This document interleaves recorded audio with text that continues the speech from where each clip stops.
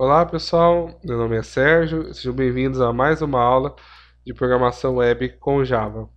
Nessa videoaula eu vou estar mostrando para vocês como que a gente trabalha com relatórios quando esses relatórios envolvem mais de uma tabela. Pode ser duas, três, quatro e por aí vai.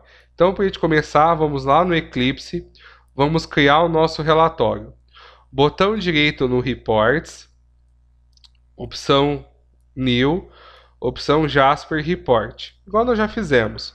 Escolhe a opção Blank A4, pressiona o botão Next. Vamos dar um nome para ele. Eu vou fazer o cadastro de produtos. Algumas coisas eu vou fazer mais rápido, né? Porque eu já expliquei na videoaula passada. Vou pressionar o botão Next. Aqui eu vou escolher o nosso Data Source. No Data Source, eu vou escolher o Drogaria Data Adapter. Aqui que vai ter a diferença. A diferença vai ser no seguinte. Eu quero então fazer o relatório de produto. Vou vir aqui e vou pegar o produto. Ó. Peguei o produto. Opa, não é aqui não que eu queria fazer. Vamos no diagrama, né? Fazendo modo gráfico. Pego o produto e arrasto o produto aqui, ó. O produto, ele tem essa chave aqui que tem esse símbolo azul. Esse símbolo azul significa que existe uma chave estrangeira, ou seja, tem a chave estrangeira de código. Então, o que, eu vou ter que fazer agora? Eu vou ter que pegar o fabricante, clica, arrasta aqui e solta. Aí, ó, ele já fez a ligação entre produto e fabricante. Agora, se você olhar o SQL, ó, é aqui que ele fez a junção, ó no inner join, ó, ele fez a junção de produto com fabricante. Agora o que eu tenho que fazer? Eu tenho que escolher que campos que eu quero exibir. Então eu quero exibir a descrição do produto, o preço do produto, a quantidade do produto e a descrição do fabricante. Se você vier aqui no text, aqui ó, está aqui ó, descrição do produto, preço do produto, quantidade do produto e descrição do fabricante. Beleza. Falta o que? A ordenação. A ordenação nós vimos, pelo menos eu não achei ainda na ferramenta, como fazer no modo de diagrama. Eu particularmente não achei, então eu faço aqui no Outline. Então eu vou vir aqui no Outline e vou fazer a ordenação. Só que tem um problema. Produto, ele eu ia fazer ordenação pelo nome do produto, pela descrição. Só que tem produtos que têm nomes iguais. Por exemplo, os genéricos. Os genéricos têm nomes iguais. Então, só o nome, às vezes, não é viável para ordenar. O ideal seria eu ordenar pelo nome do produto e pelo nome do fabricante. Então, beleza, vou fazer aqui, ó, no Order By, eu vou dar botão direito, vou escolher, ó, add order by column. Segurando o Ctrl, eu vou marcar a descrição do produto e vou marcar a descrição do fabricante. Esses dois aqui, ó, segurando o Ctrl. Aí vou dar OK. Aí, ó, ele colocou para mim duas descrições. Vou dar dois cliques no ASCII, só para ele no desk para ele colocar ASCII. Agora vem um problema que eu não achei na ferramenta. Eu quero o primeiro. O primeiro critério de ordenação é o nome do produto. E o segundo critério de ordenação é o nome do fabricante. Só que ele põe em ordem alfabética. Eu, particularmente, não achei aqui nenhum lugar onde eu possa trocar eles de lugares. Ele até aparece aqui um, como se desse para trocar, mas ele não vai. Ó. Você tenta trocar, ele não vai. Então, nesse momento, não vai ter como escapar. Eu vou ter que ir lá no SQL para acertar isso. Então, eu venho aqui no text. Então, primeiro, vou, vou cortar esse aqui, ó. Vou cortar esse daqui. Primeiro, então, vai a ordenação pela descrição do produto, vírgula. Aí eu vou colar a ordenação do fabricante. Vou tirar essa vírgula no final. Aí o outline fica certo. Ó. Agora está certinho. Ó. Primeiro a descrição do produto, depois a descrição do fabricante. Beleza, então eu não achei, se alguém achar aí na ferramenta aonde fazer isso, então depois dá um toque aí nos comentários que daí vai me ajudar e até outras pessoas como que eu troco a ordem aqui sem ser na mão. Beleza, vou pressionar o botão Next. Pressionado o botão Next, vem o primeiro problema. Perceberam que aqui ele colocou descrição, preço, quantidade e column 4? Esse column 4, na verdade, acabou sendo a descrição do fabricante. A ferramenta, como eu falei para vocês, pessoal, essa parte de relatórios em Java é uma droga, para não falar um palavrão aqui. É, a ferramenta ela não criou um nome. Por exemplo, aqui é a descrição do produto. Aqui é a descrição do fabricante. Em vez ele criar nomes diferentes, ele chamou de coluna 4. Vamos ver como resolver isso daqui a pouco. Então, manda tudo para a direita. Então, manda tudo para a direita. Pressiona o botão Next. Aqui você não precisa preencher nada. Botão Next. E aí você dá Finish. Beleza. Aí o que, que aconteceu? Aqui nos fields, ó, ele gerou descrição do produto. Descrição do produto, ele tá aqui é a descrição no caso do produto. Aqui é o preço do produto. Aqui é a quantidade do produto. E aqui é a descrição do fabricante. O problema é que você não consegue, por exemplo, é, dar um novo, é, como falo, dar o mesmo nome, né? Porque ia ficar descrição, descrição. Então, como que a gente pode contornar isso? Para contornar esse problema aqui, eu vou ter que fazer um negócio que a gente chama de alias. Eu poderia ter feito alias no começo do. Lá na hora que eu fiz o SQL, ou eu posso fazer agora. Então, como eu não vou poder voltar, eu vou fazer agora. Então, o que, que eu vou fazer? Eu vou clicar aqui, ó, nesse botão aqui. Aí ele vai aparecer o SQL para mim. O que, que eu vou fazer? Do lado daqueles campos que eu vejo que pode repetir, por exemplo, aqui, ó, descrição do produto. Eu vou escrever assim, vou colocar S, aí eu vou inventar o nome P descrição. Aí, lá na descrição do fabricante, vou fazer a mesma coisa. S, F, descrição. Então, eu vou criar um apelido, um alias.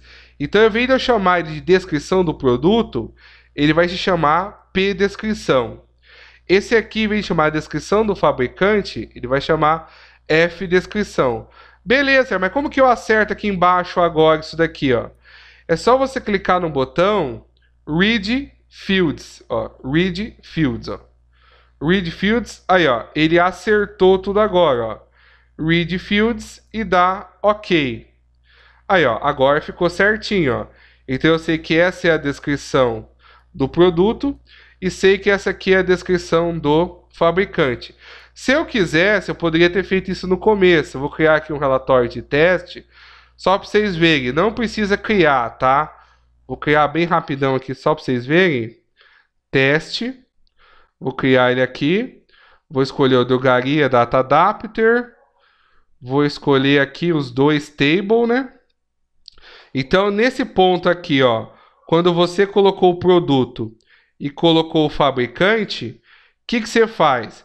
Você já vem aqui no text. Opa, ah é, faltou marcar aqui, ó. Marca aqui primeiro. Você já vem aqui no text e já coloca aqui, ó, S, P, descrição e S, F, descrição. Você só coloca naqueles campos cujos nomes são iguais, tá? Os outros não precisa. Next, aí ó, já apareceu certinho. Então eu vou dar cancel aqui, porque eu não quero continuar. Mas eu poderia ter feito anteriormente já, mas eu quis mostrar o problema. Ou você corrige depois, como eu fiz. Beleza. Vamos fazer nosso relatório aqui agora. Vamos colocar o logo, né? Vamos colocar o logo, marcar a primeira opção aqui, achar o nosso banner JPG. Lembrando que eu vou fazer mais rápido porque vocês já viram esses assuntos, tá? Então, eu não vou perder tanto tempo nele aqui. Vou acertar o tamanho dele para 555 para ele ficar certo. Vou aumentar um pouco ele aqui, né? A gente viu que eu aumentei um pouco lá. Vou centralizar ele aqui na aba Image, né? Vamos centralizar ele. Vamos aumentar aí, beleza aí. Vou criar aqui agora um static. Se não me falha a memória, acho que eu criei 18, né? Deixa eu confirmar aqui no status. Você pode abrir ele para ver. Foi tamanho 18 que eu criei. Foi 18 negrito sublinhado. Beleza. Então vou vir aqui, colocar ele aqui. Vou aumentar aqui. O relatório. Opa. Relatório de produtos. Aí vou colocar static text. Tamanho 18. Né, centralizar. Opa. Ele trocou a fonte. Cadê? Sans serif. Centralizado. No meio, né?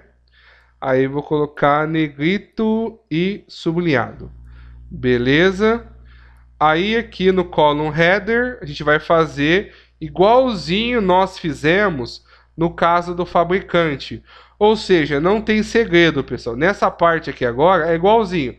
Você pega o field e puxa aqui. Simples. Quando puxar o field, ele já vai criar para você o é, o static text, que é o rótulo da coluna. Então, primeiro vai vir a descrição do produto aqui. Aí, ó. Descrição do produto. Se quiser pôr todos já primeiro, né? O preço do produto, né? Opa, acabei fazendo errado. Preço do produto. Tem que jogar dentro do detail, lembrando, né? Opa, dentro do detail. Preço do produto. A quantidade do produto quantidade do produto. Então, deixa eu pôr mais perto aqui. Quantidade do produto. Vamos dar uma alinhada.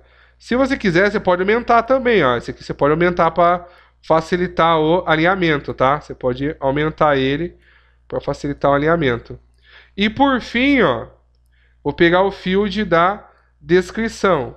Então, eu posso vir aqui e também aumentar ele também aqui conforme a necessidade. Vou deixar até o... Opa, Ctrl Z. vou deixar aqui um pouquinho menor esse. Ajustar os rótulos. Então aqui vou ajustar. Esse aqui vai ser a descrição. Esse aqui vai ser o preço. Esse aqui vai ser a quantidade. E esse aqui vai ser o fabricante. Lembrando que aqui só é o rótulo, né? Eu coloquei tamanho 14 nesses, deixa eu lembrar aqui. Coloquei tamanho 12 negrito, beleza?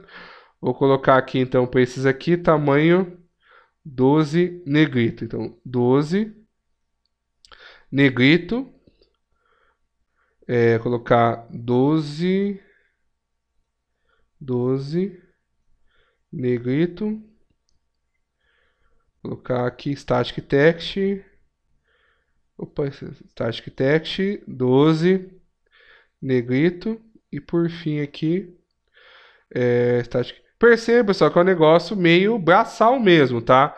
Desenhar relatório é um negócio meio cansativo. Já aconteceu casos de eu perder e às vezes ficar o dia inteiro para desenhar um relatório. Então, não se assustem não. Então, deixa eu dar um clique duplo aqui para ficar certo. Clique duplo aqui, clique duplo no detail também para ficar certo. Então alinha certinho, né, para ficar correto. É um trabalho de paciência mesmo fazer relatório. E esse aqui foi tamanho 12 normal, né? Deixa eu confirmar. Tamanho 12 sem negrito, né? Isso. Tamanho 12 sem negrito. Beleza? Então aqui eu vou colocar text field. Tamanho 12 sem negrito. O preço aqui, tamanho 12, text field, tamanho 12, sem negrito. Text field, opa, vezes tem que clicar duas vezes, né? Tamanho 12, sem negrito.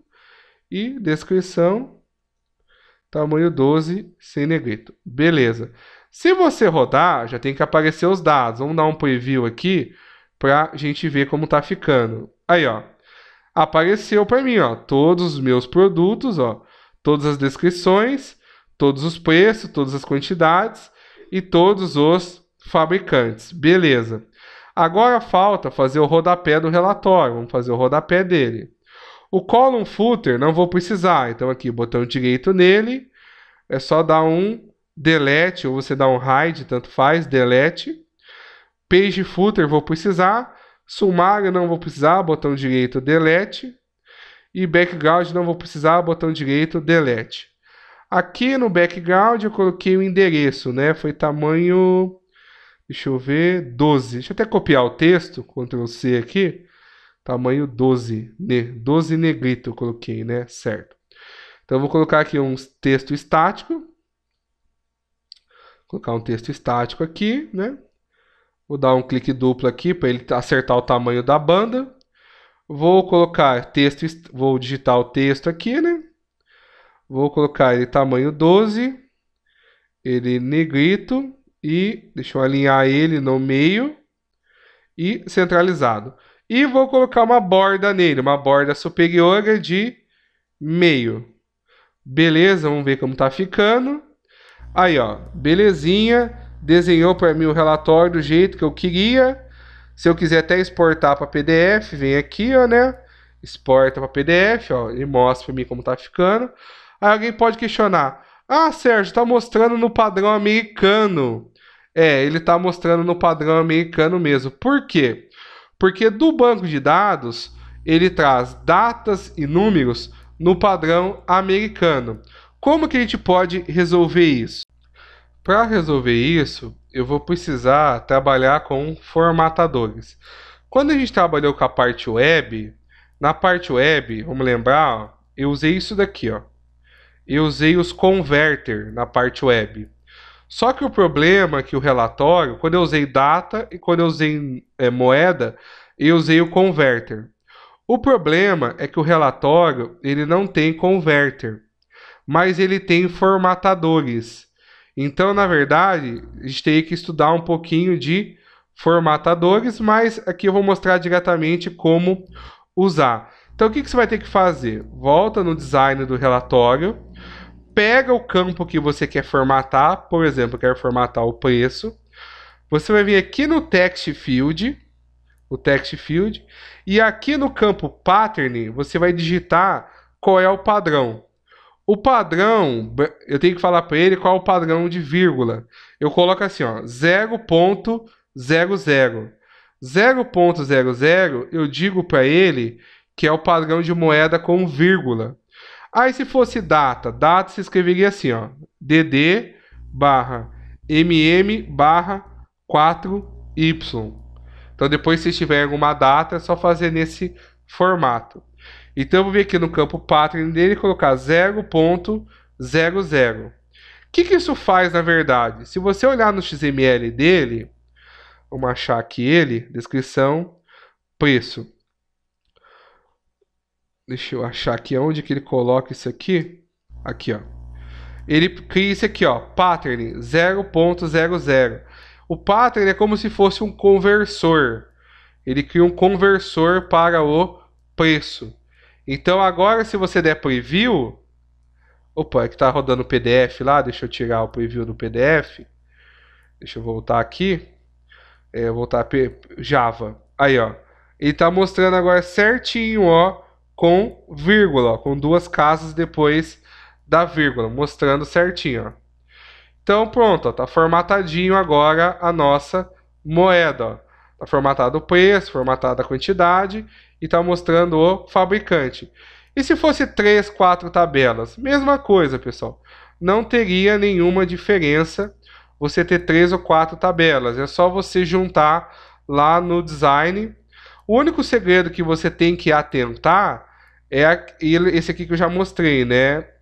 Você tem que atentar só esse aqui, ó. Quando tiver campos iguais, você usar o S para acertar a nomenclatura dos fields. Beleza, então, pessoal? Com isso, então, fica, mato a parte de mostrar relatórios com N tabelas. Não esqueça de curtir e compartilhar essa aula. A gente se vê na próxima. Abraços, até mais.